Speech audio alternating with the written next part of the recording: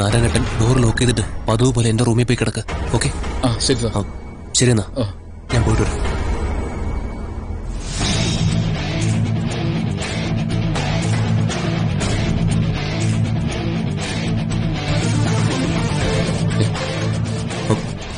നാരായണേട്ട ഇതെന്താ തുറക്കാൻ പറ്റത്തെ? നാരായണേട്ടൻ ഇനി ഇത് ലോക്ക് ചെയ്തായിരുന്നു? ഇല്ല സാർ ഞാൻ ലോക്കിട്ടില്ലായിരുന്നു പിന്നെ ഇതെന്താ തുറക്കാൻ പറ്റത്തെ?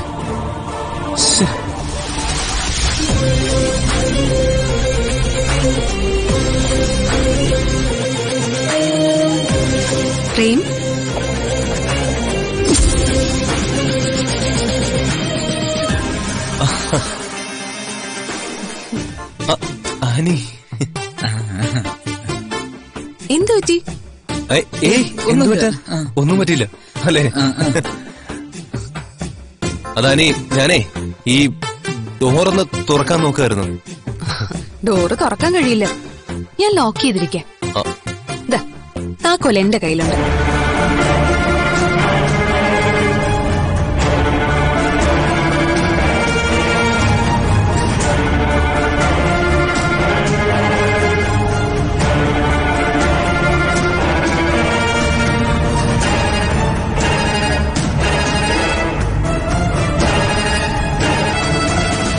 ഈ മാത്രമല്ല ഈ വീടിന്റെ പുറത്തേക്കുള്ള എല്ലാ വാതിലുകളുടെയും താക്കോൽ എന്റെ കയ്യിലുണ്ട്. എല്ലാ ഡോറുകളും ലോക്ക്ഡാ അല്ല നീ എന്തിനാ എല്ലാ ഡോറും ലോക്ക് ചെയ്തിട്ടിരിക്കുന്നു? അല്ല കള്ളന്റെ ശല്യം ഉള്ളത് കൊണ്ട് ചെയ്തതാ. ഓ. അല്ല നീ രാത്രിയിൽ എങ്ങോട്ട് പോന്നു? ഞാൻ ഞാനങ്ങോട്ട് പോവാൻ. ഞങ്ങൾ പുറത്ത് എന്തോ ഒരു അനക്കം കേട്ടിട്ട് പോയി നോക്കാൻ വേണ്ടി ഇറങ്ങിയതാ. ആ എന്നാ പിന്നെ നമുക്ക് മൂന്ന് പേർക്കും ഒരുമിച്ച് പോയി നോക്കാം. ഏയ് അതൊന്നും വേണ്ട. ഇനിയിപ്പോ പുറത്തൊന്നും പോയി നോക്കണമെന്നൊന്നുമില്ല നീ ചെന്നുറങ്ങിക്കോ അതാ നല്ലത്. ആ സമയത്ത് പുറത്തിറങ്ങിയിട്ട് ഏതെങ്കിലും അക്രമിയുടെ തല്ലു കൊള്ളുന്ന എന്തിനാ? പോയി കിടന്നോ പ്രേം. നാരായണൻ പോയി കിടന്നോ? ഞാൻ പോട്ടെ.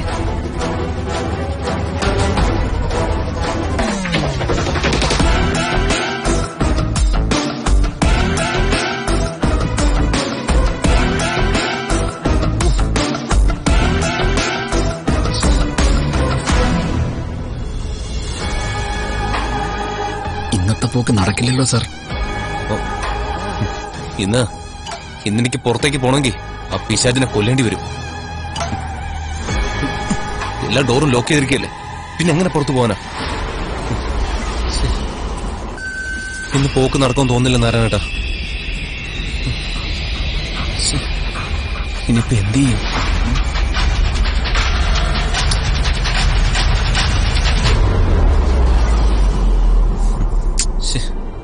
പൗർണിമയോട് എന്ത് പറയും? ഇവൾ ഈ പണി ചെയ്യുമെന്ന് വിചാരിച്ചതേയില്ല. പൗർണിമ എന്നെയും പ്രതീക്ഷിച്ചിരിക്കായിരിക്കും. വിളിച്ചു പറഞ്ഞേക്കാം.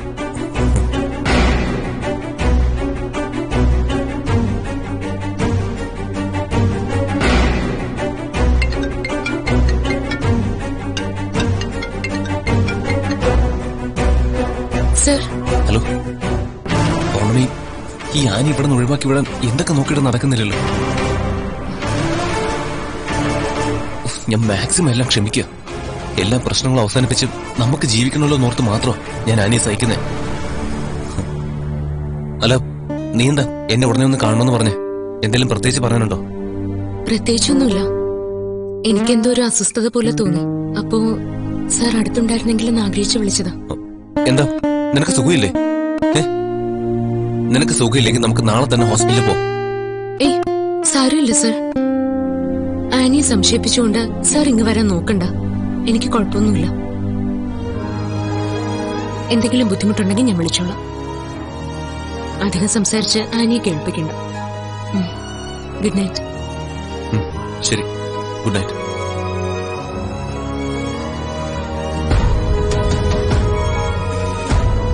പൗർണമിക്ക് എന്തോ അസ്വസ്ഥത ഉണ്ടല്ലോ നാളെ ഓഫീസിൽ കാണുമ്പോൾ ചോദിക്കാം.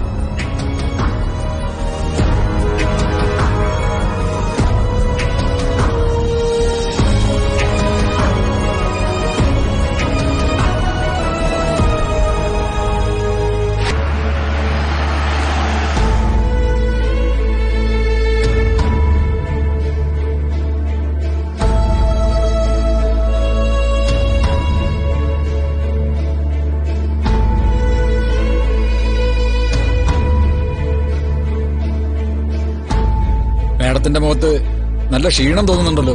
എന്തു പറ്റി മേഡം? അറിയില്ല നാരായണേട്ടാ നല്ല ക്ഷീണവും തളർച്ചയുണ്ട് ഇന്നലെ നന്നായിട്ട് ഉറങ്ങാൻ കഴിഞ്ഞില്ല. അതിന്റെ ആയിരിക്കും. ഇന്നലെ രാത്രി മേഡം സാറിനെ പ്രതീക്ഷിച്ചായിരുന്നു അല്ലേ? സാറിന് വരാൻ കഴിയാത്തതിൽ വിഷമമുണ്ട് മേഡം. വരാനായിട്ട് സാറ് റെഡിയായതാ. ആനി മേഡം പുറത്തേക്കുള്ള എല്ലാ ഡോറും പൂട്ടിയിട്ടിരുന്നു. ഞാനും സാറും അത് തീരെ പ്രതീക്ഷിച്ചില്ല മേഡം. അതുകൊണ്ട് സാറിന് അങ്ങോട്ട് വരാനും കഴിഞ്ഞില്ല. സാരമില്ല നാരായണേട്ടാ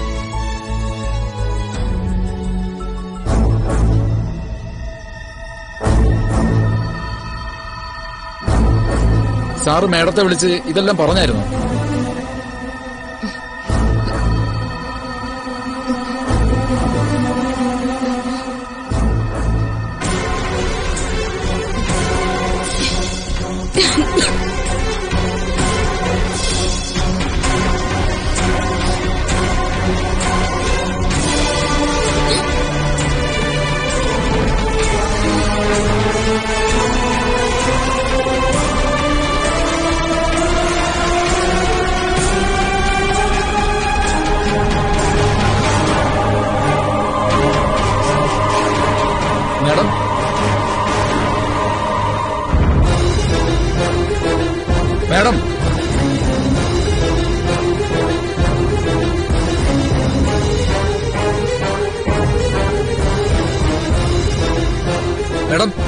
പറ്റി മേഡം.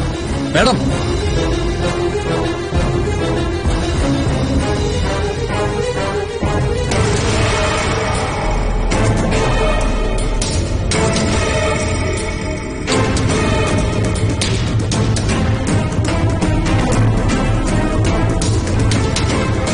മേഡം മേഡം എന്ത് പറ്റി മേഡം? മേഡം മേഡം എന്ത് പറ്റി madam? Madam madam madam. Madam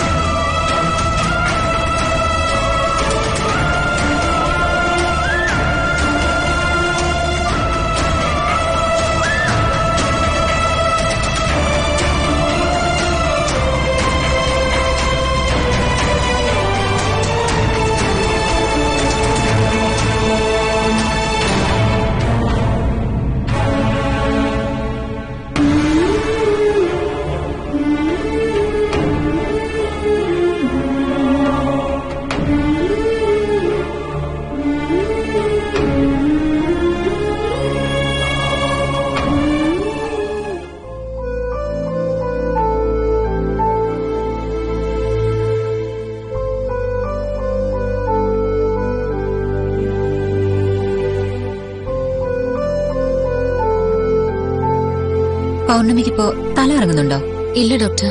ഇപ്പൊ അങ്ങനെ തോന്നുന്നില്ല. ഇഞ്ചക്ഷൻ കൊടുത്തേക്ക്. നിങ്ങളല്ലേ കൂടെ വന്നത്? അതെ ഡോക്ടർ. വരൂ. പൗർണമിയുടെ ഹസ്ബൻഡിനെ അറിയിച്ചോ? പ്രേം സാറിനെ ഞാനിപ്പോ വിളിച്ച് പറഞ്ഞായിരുന്നു. സാർ ഇപ്പൊ തന്നെ എത്തും മാഡം. പ്രേം വന്നാലുടൻ എന്നെ വന്നൊന്ന് കാണാൻ പറയൂ. ഇഞ്ചക്ഷൻ എടുത്തിട്ട് അരമണിക്കൂർ കഴിഞ്ഞിട്ട് പോകാം. ശരി മേഡം.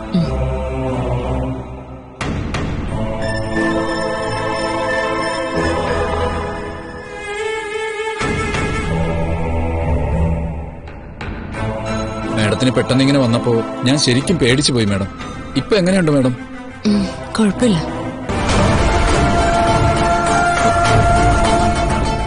പൗർണമി.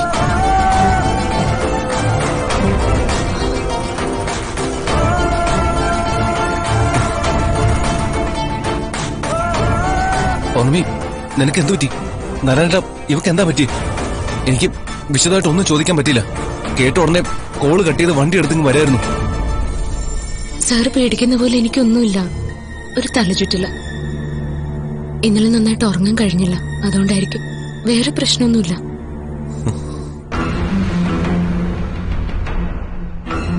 അല്ല നിനക്ക് വേറെ എന്തെങ്കിലും ബുദ്ധിമുട്ടുണ്ടോ? ഇല്ല. ഹോസ്പിറ്റലിൽ വന്നപ്പോ എല്ലാം ശരിയായി. ഇന്ന് ഓഫീസിലേക്കൊന്നും വരണ്ട. വീട്ടിൽ പോയിട്ട് റെസ്റ്റ് എടുക്കണം. ഇന്നലെ ഞാൻ കാരണം നിനക്ക് കുറച്ച് വിഷമം ഉണ്ടായെന്നറിയാം എന്ത് ചെയ്യാനാ? എനിക്ക് എനിക്ക് വരാൻ പറ്റിയില്ല. എല്ലാം നാരായണേട്ടൻ പറഞ്ഞായിരുന്നു. സാർ വന്നാൽ ഡോക്ടറെ ചെന്ന് കാണാൻ പറഞ്ഞായിരുന്നു. ഞാൻ പോയി ഡോക്ടറെ കണ്ടിട്ട് വരാം. ടെസ്റ്റ് റെസ്റ്റ് എടുക്കാം.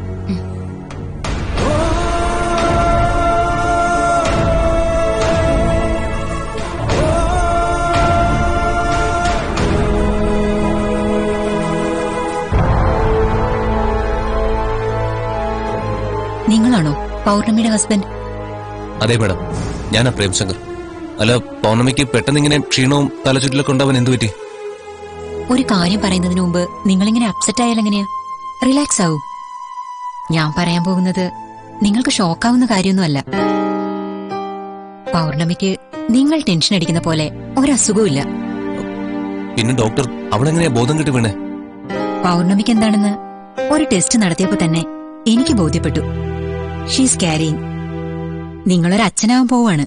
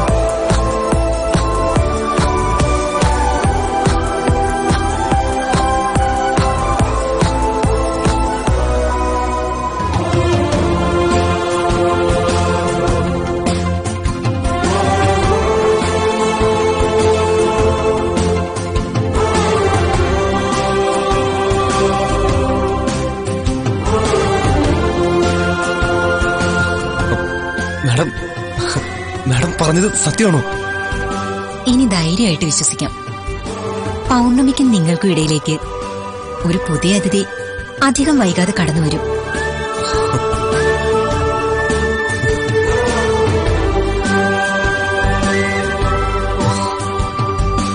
ആ പിന്നെ വളരെ സൂക്ഷിക്കണം കേട്ടോ.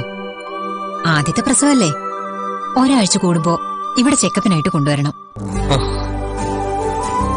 ഇന്നത്തെ കാലത്ത് കൂടുതൽ സ്ത്രീകളും ജോലിക്ക് പോകുന്നവരാണല്ലോ. അവർക്ക് റെസ്റ്റ് വളരെ കുറവായിരിക്കും. പൗർണമിയും നല്ല സ്ട്രെസ് ഉള്ള ജോലിയാ ചെയ്യുന്നതെന്ന് അറിഞ്ഞു അതുകൊണ്ട് തന്നെ കുറെ അഡ്വൈസ് തരാനുണ്ട്. നിങ്ങൾ ഇവിടുന്ന് പോകുന്നതിന് മുമ്പ് പറയാം. ഇപ്പൊ നിങ്ങൾ പൗർണമിയുടെ അടുത്തേക്ക് ചെല്ലേ. അപ്രേം. എന്താ മാഡം ഇനി അങ്ങോട്ടുള്ള നാടുകളിൽ പൗർണമിക്ക് ആവശ്യം നിങ്ങളുടെ സ്നേഹവും സാമീപ്യവുമാണ്. അവർക്ക് മനപ്രയാസം ഉണ്ടാക്കുന്ന യാതൊന്നും സംഭവിക്കാതെ ശ്രദ്ധിക്കണം. പിന്നെ അധികം സ്ട്രെയിൻ എടുക്കുന്ന ജോലികളും പാടില്ല. ഓക്കെ ഡോക്ടർ പൗർണമിയുടെ സന്തോഷവും സമാധാനവുമാണ് കുഞ്ഞിന്റെ ആരോഗ്യം. അത് മറക്കരുത്. അത് അതൊക്കെ ഞാൻ ശ്രദ്ധിച്ചോളാം മാഡം താങ്ക് യു ഡോക്ടർ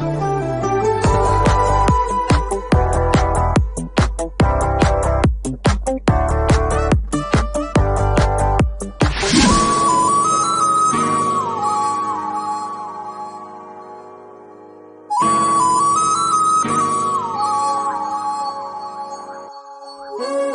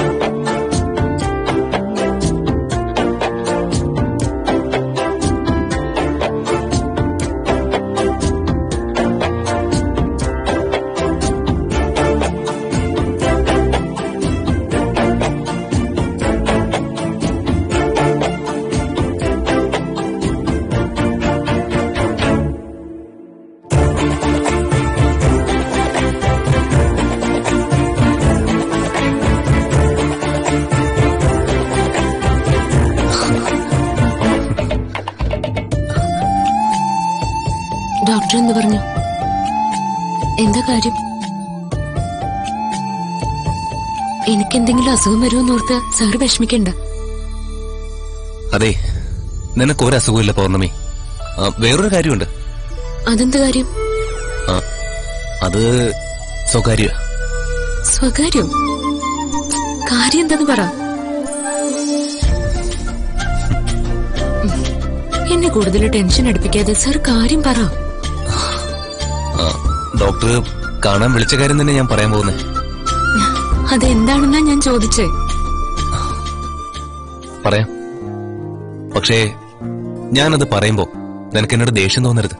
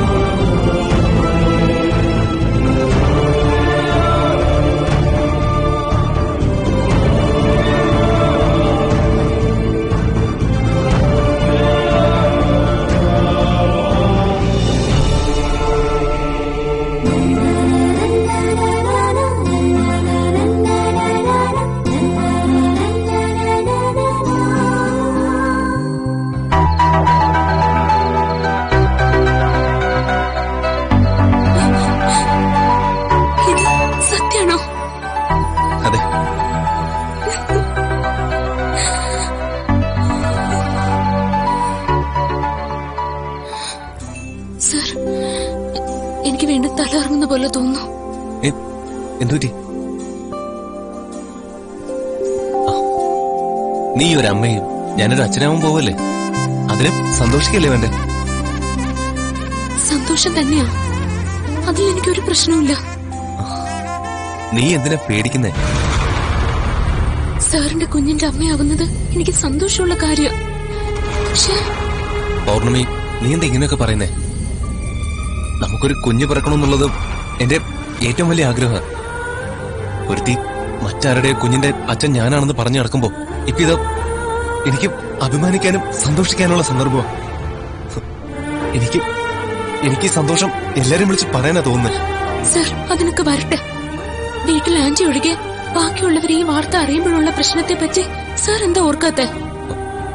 എന്ത് പ്രശ്നങ്ങൾ? മറ്റുള്ളവരുടെ കാഴ്ചയിൽ നമ്മൾ ഭാര്യ ഭർത്താക്കന്മാരായിട്ടല്ലല്ലോ സർ ജീവിക്കുന്നത്.